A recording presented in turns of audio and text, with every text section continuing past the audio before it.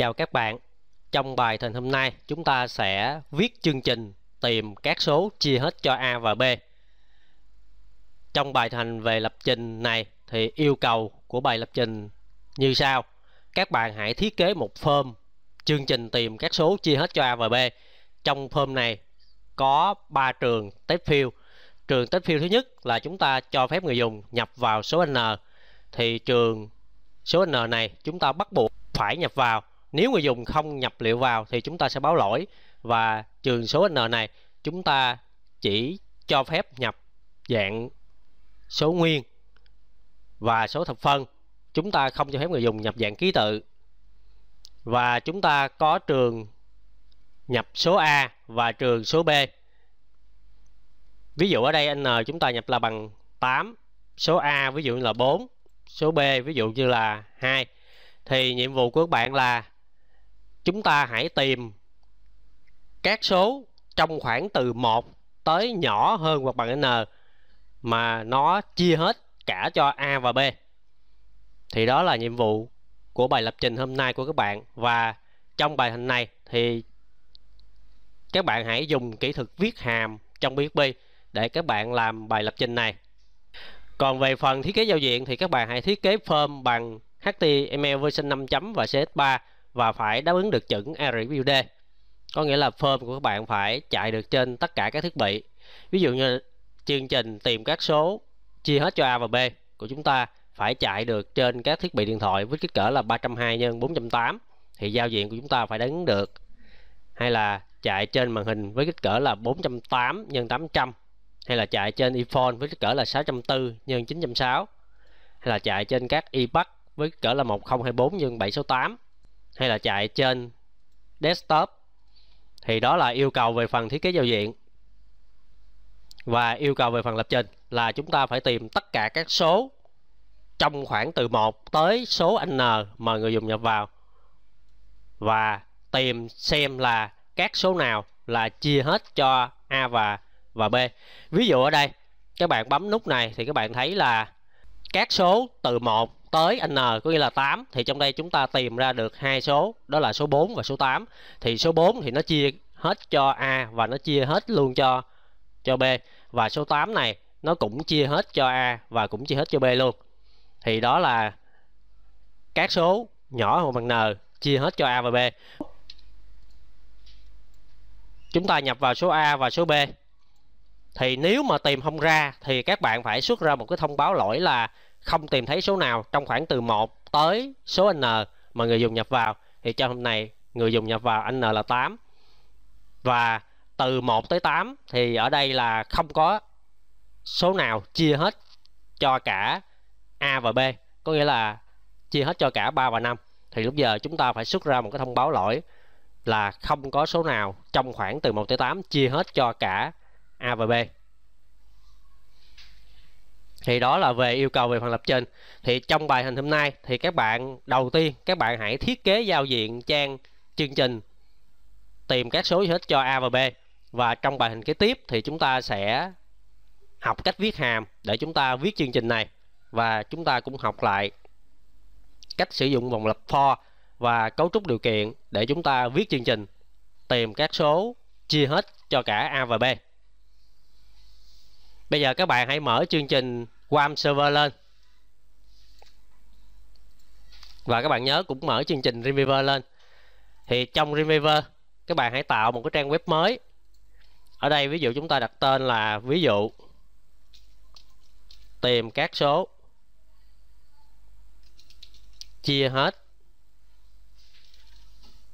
cho A và B. Ví dụ chúng ta đặt tên chương trình của chúng ta là vậy các bạn hãy mở trang này lên và các bạn đứng ở chế độ code.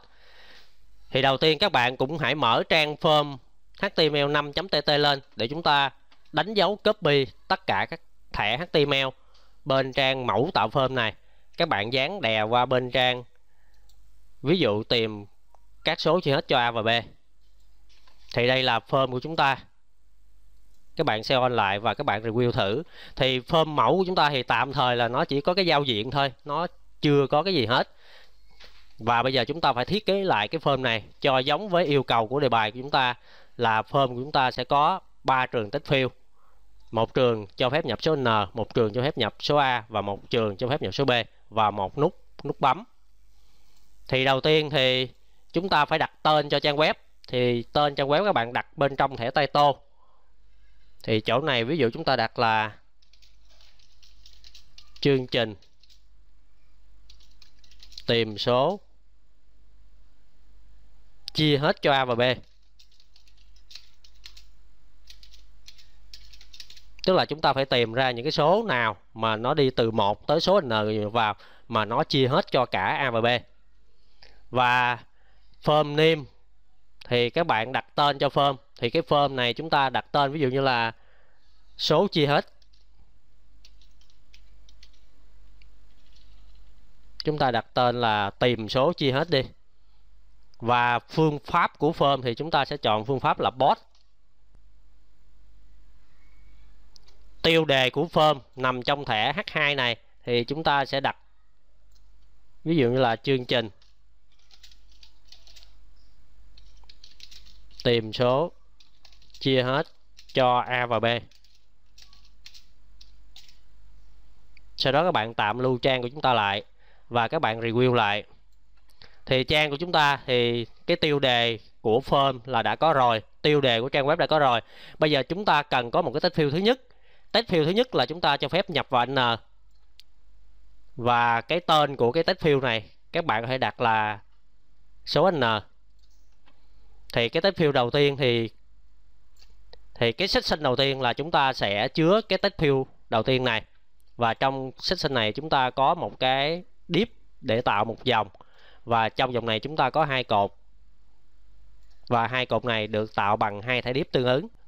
Thì đầu tiên cái nhãn của chúng ta đặt ở đây là nhập n. Và cái tên của cái nhãn này thì các bạn có thể đặt tên là, ví dụ như là số n.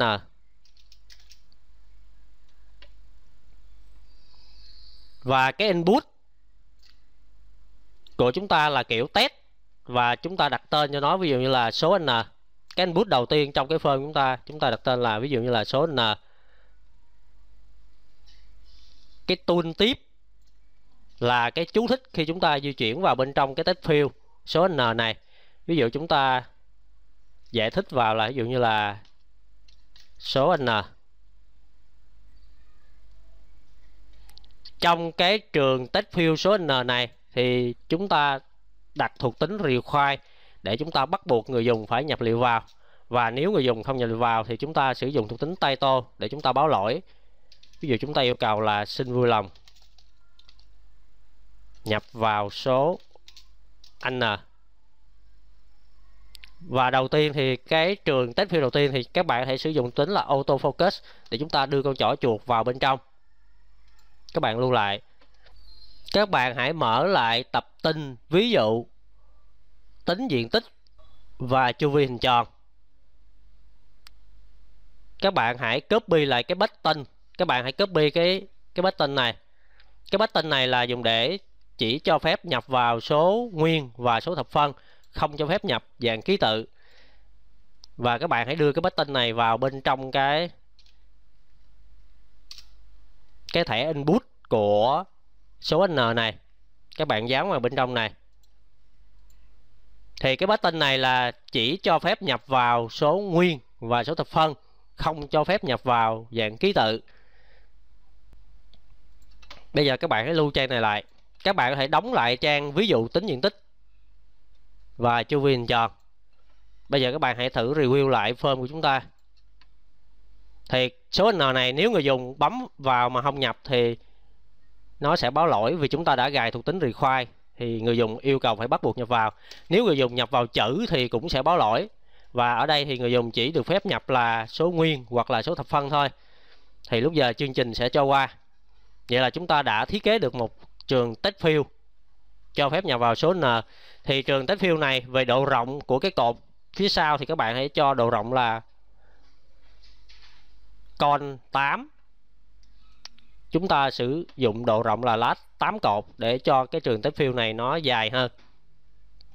Vậy là chúng ta đã có được trường test field n. Bước tiếp là chúng ta sẽ thiết kế tiếp hai trường test field cho phép nhập số A và cho phép nhập số số B. Thì ở đây các bạn hãy copy section của trường N xuống. Các bạn hãy copy đoạn section này. Các bạn dán xuống bên dưới và bây giờ chúng ta chỉ cần sửa lại cái nhãn và cái tên của cái test field ở đây sẽ là số A. Ở đây chúng ta kêu là nhập vào số A chỗ này. Thì cái nhãn ở đây các bạn đặt là nhập nhập A. Thì chỗ này chúng ta hãy đặt tên cho cái nhãn là số A. Và cái tên của input chúng ta cũng đổi lại là số A. Thì đối với cái input số A này là chúng ta cũng bắt buộc người dùng nhập liệu vào và khi người dùng không nhập liệu vào thì chúng ta yêu cầu là xung lòng nhập số số A. Thuộc tính auto focus thì các bạn hãy bỏ đi, vì trong form thì chỉ có một test field có auto focus thôi, và thường là cái test field đầu tiên. Và cái button này thì chúng ta giữ lại. Cái button này là ép buộc người dùng là chỉ nhập vào số nguyên và số thập phân, không được phép nhập dạng ký tự. Về cái tool tiếp thì chúng ta cũng để là nhập là số A các bạn hãy lưu lại. Các bạn review lại form của chúng ta. Thì ở đây, chúng ta đã có được thêm một trường tiếp field nữa là cho phép nhập số A. Nếu người dùng không nhập vào thì nó cũng sẽ báo lỗi. Và bắt buộc người dùng chỗ này là họ phải nhập liệu vào. Thì chương trình sẽ cho qua. Bước tiếp là chúng ta sẽ thiết kế một trường nữa là số B thì các bạn tiếp tục copy cái section số A bên trên xuống. Do ở đây là chúng ta có ba test field này là giống nhau, chỉ khác nhau về cái tên thôi. Thì các bạn hãy copy xuống và sửa lại tên. Ở đây chúng ta cho phép nhập vào B. Thì cái nhãn chúng ta đặt là, ví dụ như là nhập B. Cái tên của cái nhãn ở đây, ví dụ chúng ta đặt là số B. Và cái tên của input mà người dùng nhập liệu vào thì chúng ta cũng đặt là số B. Ở đây thì cái người dùng mà nếu không nhập liệu vào thì chúng ta cũng báo lỗi là xưng lòng nhập vào số B. Và cái tool tiếp thì chúng ta cũng đặt là số B. Sau đó các bạn lưu lại. Các bạn review lại thử trang của chúng ta. Các bạn review lại thử trang của chúng ta chỗ này. Vậy là chúng ta có trường nhập số B.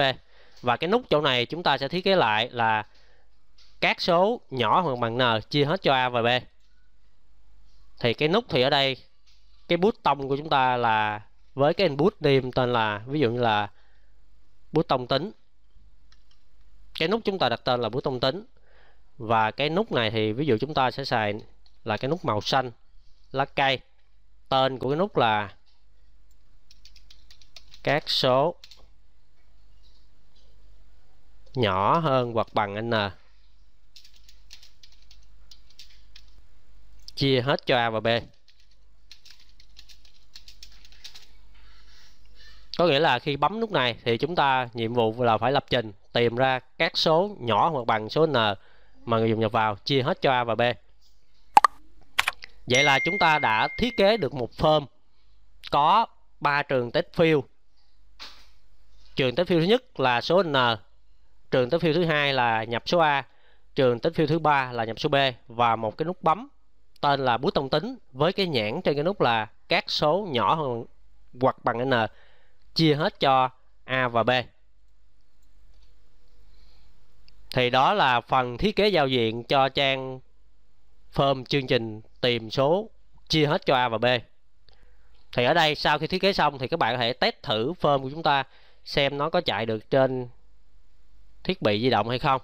Các bạn test trên tất cả các màn hình để kiểm tra lại là giao diện trang form của các bạn có đáp ứng được khi nó chạy trên các thiết bị cầm tay hay không.